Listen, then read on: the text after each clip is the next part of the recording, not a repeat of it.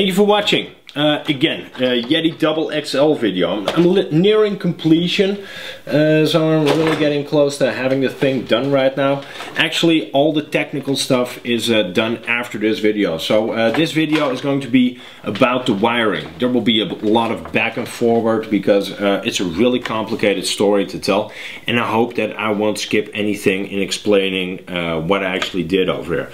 Now, Double XL, two motors, uh, two transmission cases. One of the motors is going to power the front.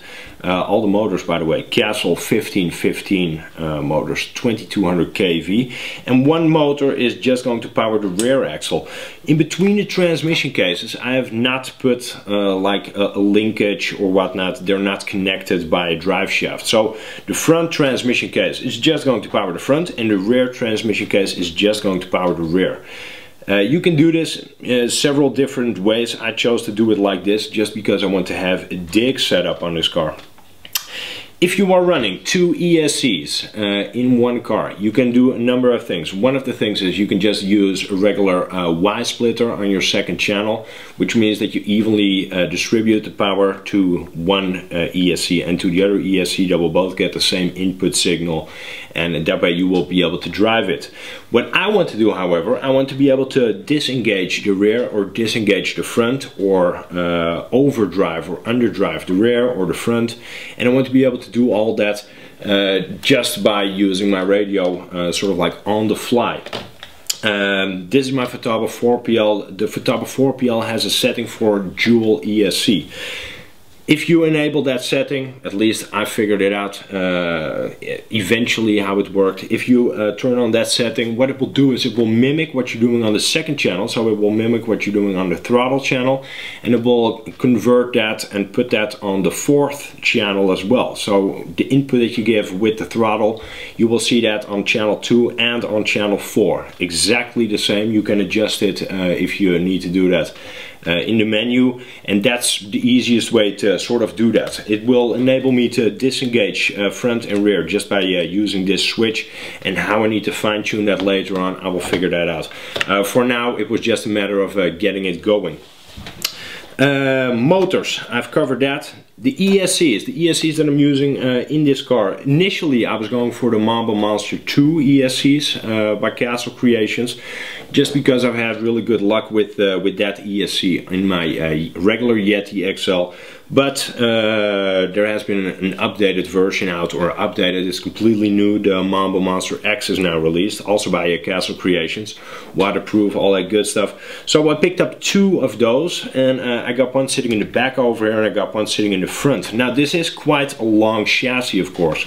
So you also need to stretch all those wires to make sure that they actually come from the receiver box, which is still located in the stock position, that they actually go all the way to the back. Uh, that took a tiny bit of uh, figuring out. Also the location of the ESC took a tiny bit of uh, figuring out.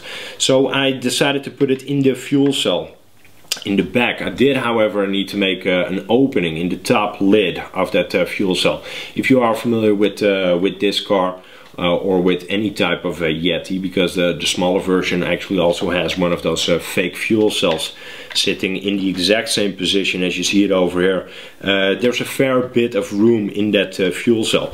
I drew up uh, well, sort of like a, a, an outline of what I wanted to uh, cut out, what I needed to cut out. Uh, put the top lid in my uh, X-Carve, in my CNC machine, and I machined uh, a gap out of that top lid just to make sure that the cooling fin actually can draw in some uh, fresh air to cool down the ESC. The same drawing, I also used that to make uh, a custom carbon fiber cradle in the front. Uh, but in the front I created sort of like a sandwich construction with uh, a bottom plate in carbon fiber that's actually wide enough to accommodate that uh, Monster X ESC. And uh, I put two uh, M3 bolts through it, bolted those down just to make sure that I could actually fit that uh, clamp piece over the top and keep the ESC in place where I want to have it. Now with that all the positioning was done uh, in the last episode you may have seen that I uh, redid the top plate to uh, house these two uh, blower shrouds also by uh, Castle Creations to make sure that everything is nice and sturdy and that actually everything sits in the place where I want to have it. Um, after that, you're left with uh, a lot of wiring. Now, there's there's uh, several different ways to go about the wiring. If you read up online, some people uh, prefer soldering stuff up in parallel.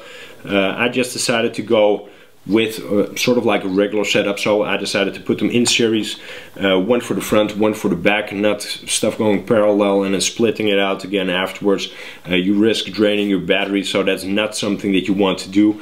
And if there is a, tiny performance difference uh, in the batteries for example then that is something that you will easily overcome because it will not be that big of a deal as long as you run four similar batteries the batteries that I will run in this car, uh, Dinogy batteries, 6500 milliamps from the top of my head uh, with a 65C rating, uh, 11.1 volts, all of them.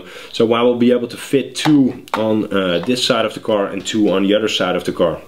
Uh, the batteries that sit on this side of the car will be powering the front and the batteries that sit on the right side of the car will be powering the rear testing that out, that's like one of the most uh, crucial parts.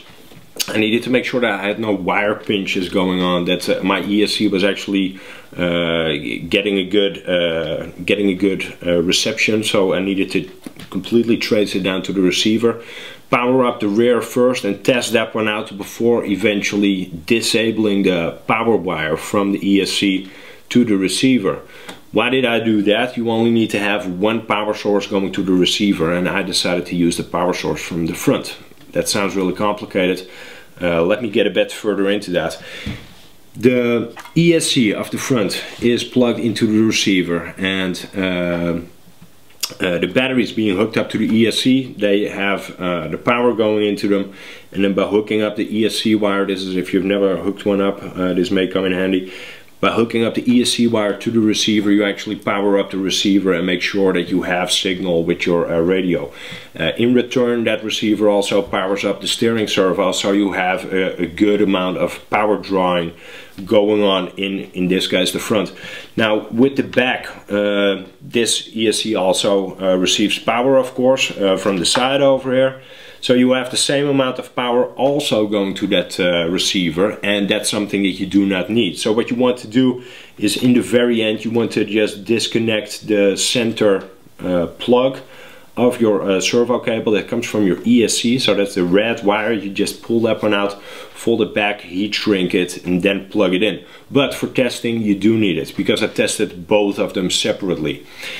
In testing both of them separately, you can also make sure that they actually perform at the exact same rate. Uh, how you do that is you just uh, take your Castle Link system. Everybody who has ever owned a Castle uh, brushless system will know, I think, exactly what I'm talking about. You hook up your Castle Link take it to your computer or your laptop, you can do an exact reading of the amount of RPMs that uh, that the motor is putting out, uh, what's happening to it temperature-wise, and you can set it up however you want. Now these two are exact matches, so there's nothing uh, different between the two. The only difference, of course, that I have is the front power source uh, is also running the receiver and the steering servo so I wanted to match that one up so what I did is I still had these two blower shrouds to hook up I actually decided to draw power for those two from the rear ESC. I hope this still makes sense. I needed to lengthen up that wire anyway just because it's so far from the receiver. So what I used for that is uh, I used two uh, Y harnesses, two uh, servo harnesses. You will find those in, uh, for example, uh, your Hitec servos. If you uh, buy a Hitec servo, chances are that you will find one of those splitter cables in there. So I used two splitter cables just to be able to power up these two uh, blower shrouds. That way I think I have a fairly even uh, power draw from both sides of uh, of the car. So uh, from the front and the back the front having the servo and the receiver and the rear then having these two additional uh, blower shrouds to power. So in terms of uh, being able to run my car as long as possible I think that does the trick well, I think this was a complicated story, but uh, uh, well, an interesting one nevertheless.